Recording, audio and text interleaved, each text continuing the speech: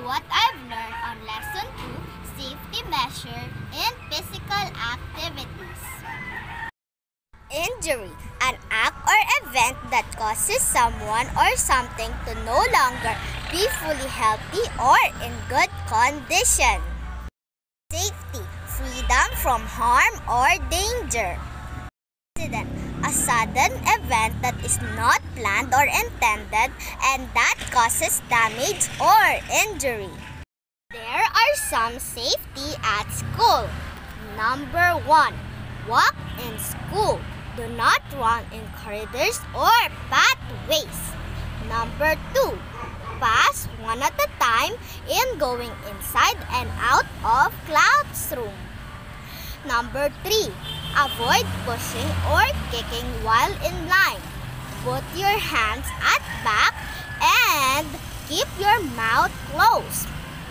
Number four, know the different fire or emergency exits. Number 5. Do not step over the table, chairs, or bookshelves. You might fall. Number 6. Keep right when going up or down the stairs. Number 7. Follow school environmental prints or safety signage. Number 8. When you are in the playground, follow safety rules. No climbing on chairs and tables. Be away from electrical sockets. Beware of wet floor. Please put toys back in its place. Safety at home. Do not play habulan or any other games that would cause you to bump with your playmate. You might bump with flower vase and get injured. Number 2. After playing with your toys, return them in proper place because it might cause other people to slip and get injured. Number 3. Do not climb on cabinets or step on the chairs and tables. Number 4. Do not play on the stairs. You might fall down. Number 5. Do not play in kitchen. Do not play with kitchen utensils, especially sharp objects like knife. Do not blog on your own.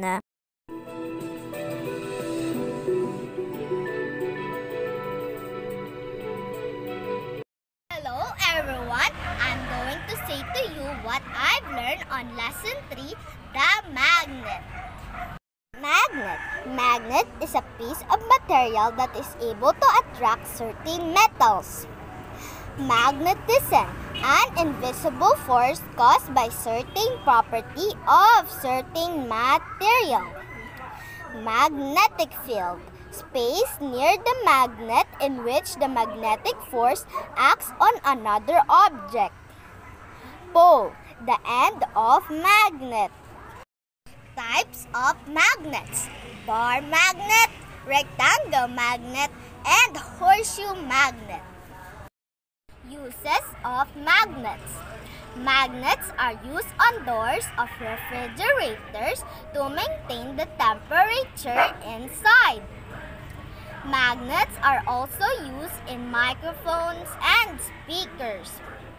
Magnets in compass compass is an instrument used for navigation. Credit cards have a magnetic strips on them that give you financial information. Maglev, a vehicle travels along a guide while using magnets. Some toys have magnets.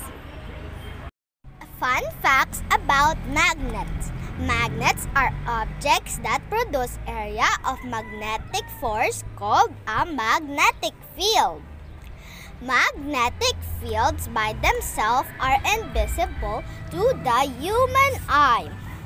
Iron fillings can be used to be show magnetic fields created by magnets. Magnets only attracted certain types of metals. Other materials such as glass, plastic, and wood aren't attached.